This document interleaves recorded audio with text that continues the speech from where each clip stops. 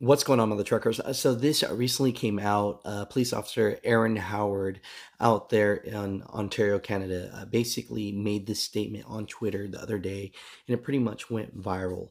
And now people are looking to have her fired. Truck drivers, tell me what do you guys think about this? Because I mean, when you go onto the link, I'm going to send you the link. Look at it. I mean, people are saying a lot of disgusting things. I mean, uh, they truly want to cancel her. They're upset that she said what she said in uniform. But mother truckers, comment down below. Let me know what your thoughts about this are. And especially if you agree or disagree with what police officer Erin Howard said. Hey there.